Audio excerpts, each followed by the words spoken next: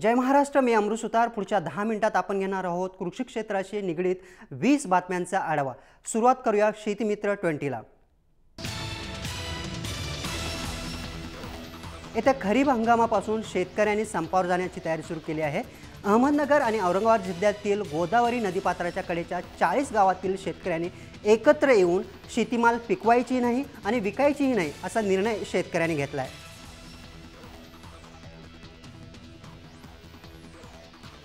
शेतकऱ्यांच्या आर्थिक स्तर वाढावा आणि शेतकऱ्यांच्या आत्महत्या थांबाव्या या उद्देशानं शासनाने महत्त्वाकांक्षी जलयुक्त शिवार उपक्रम विभागाला झुकते माप दिलं आहे मात्र नियोजनाअभावी यंदा जलशिवाराची वाट लागली आहे. यंदा मार्चच्या पहिल्या आठवड्यात आठशे पाच कामच पूर्ण झाल्याचा जिल्हा प्रशासनाचा अहवाल आहे. मौंदा तालुक्यातील खोपडी शिवारात शेतकऱ्याने शेतीतील पालापाचोळा व कचरा जाळा मात्र वाढते तापमान व जोरात वाहणारी हवा यामुळे ही आग सर्वत्र पसरली. आटोकाट प्रयत्न करूनही ही आग नियंत्रणात न आल्याने अल्पावधीतच या आगीने पेट घेतला. त्यामुळे शेहेचाळीस एकरातील कापणीला आलेले गव्हाचे उभे पीक राख झाले. चालू वर्षी तीव्र उन्हाळ्याची झळ माणसांना तर बसत आहेच पण टोमॅटोच्या नवीन लागवड केलेल्या रोपांना देखील दुष्परिणाम जाणवत आहेत. शेतीत लागवड केलेले रोपं सुकू लागले आहेत. जुन्नर तालुक्यातील सध्या उन्हाळी हंगामातील टोमॅटो पिकाचे नुकसान मोठ्या प्रमाणात झाले आहे. जवळपास सर्वच हंगामातील पिकावर कीटकांचा आणि किडींचा प्रादुर्भाव जाणवतो. त्यावर प्रभावी कीटकनाशक म्हणून गोमूत्र प्रभावी ठरत असल्याचा प्रत्यय भंडाऱ्यातील चंद्रकांत भगत या शेतकऱ्याला आला आहे त्यांनी टोमॅटोवरील रोग नियंत्रणासाठी गोमूत्राचा वापर उत्तम प्रकारे केला आहे वनोपज असलेल्या मोहफुलावर प्रक्रिया करून सालेकसा देवरी क्षेत्रास उद्योग सुरू करण्याचे व त्यासाठी शासन स्तरावर मंजुरी देण्यात यावी अशी मागणी होत आहे. अखेर मोहफूल वाहतूक परवानामुक्त करून वनमंत्र्यांनी मोहफुलातून उद्योग उभारणीसाठी कामात एक पाऊल उचलले आहे. यामुळे जिल्ह्यातील मोठ जिल्ह्यावासियांना मोठा दिलासा मिळणार आहे. थकीत वीज बिलामुळं अनेक पाणी पुरवठा योजनांचा पाणी पुरवठा बंद झाला आहे त्यामुळे बारामती तालुक्यातील योजना सौर ऊर्जेवर करण्याबाबत प्रयत्न केले जातील असं आश्वासन पुण्याचे पालकमंत्री गिरीश बापट यांनी दिलं आहे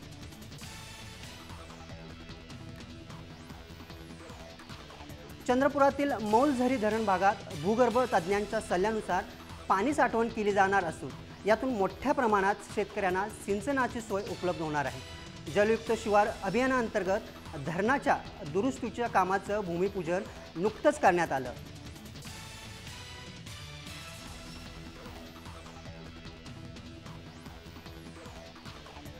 वाशिम जिल्ह्यातील मंगरुळपीर तालुक्यात राजेंद्र राऊत यांनी पीक पद्धतीत बदल करून प्रगती साधली.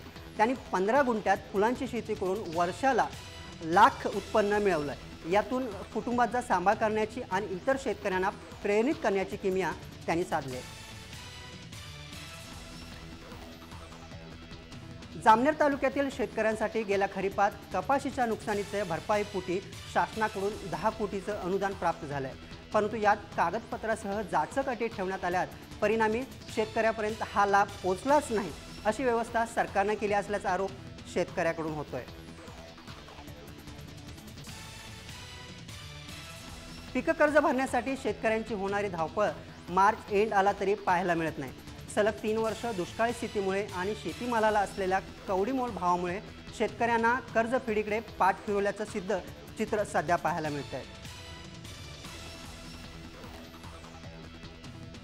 पाण्याच्या वाढत्या मागणीसाठी शासनाकडून पाणी अडवा आणि पाणी जिरवा अभियान राबवलं जात आहे यात पाणी अडवून ते जिरवण्याचे प्रयत्न सुरू केले आहेत. मात्र विभागाच्या गलथान कारभारामुळे बंधाऱ्यात पाणी जिरवण्याऐवजी केवळ पाणी जिरत असल्याचा आरोप केला जातोय.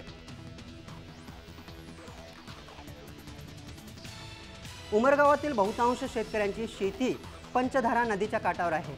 पावसाळ्यात नदीला पूर येऊन शेतीतून पाणी वाहून जात होतं. त्यामुळे शेतकऱ्यांच्या पिकांची धुळदाण होते. परंतु जलयुक्त शिवार अभियानांतर्गत नदीचं खुली करून खुलीकरण करून केल्यानं शेती शिवार आता हिरवीगार होणार आहेत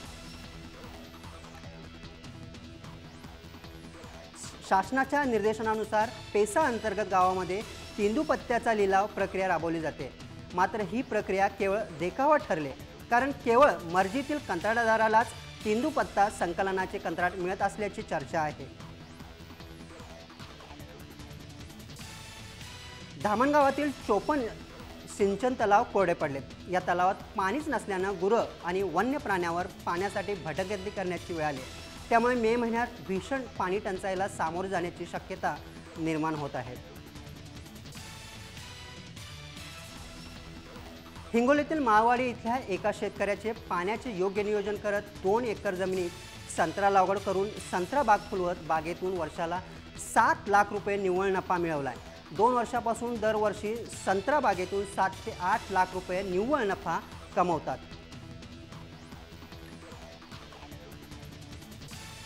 शिर्डी कोळपेवाडी येथील अमोल कवडे या शेतकऱ्याने आपल्या दोन एकर शेतीत देशी बागायती गहू वाण या जातीच्या गव्हाची शेतीची लागवड केली.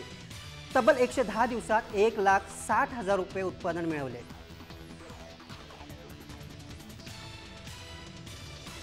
जागतिक पातळीवर भात उत्पादनात भारताचा वाटा वीस टक्के आहे. गेल्या वर्षी अकरा दशलक्ष टन भाताची निर्यात करण्यात आली होती.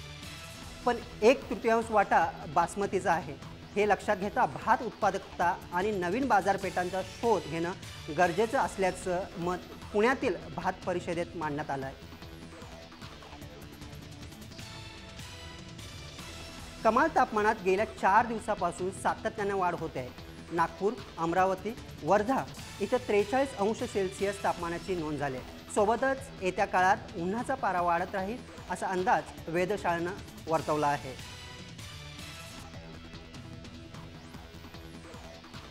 बाजारभाव डाळिंब पाच हजार रुपये प्रति क्विंटल. खरबूज दोन हजार रुपये. कलिंगड पंधराशे रुपये.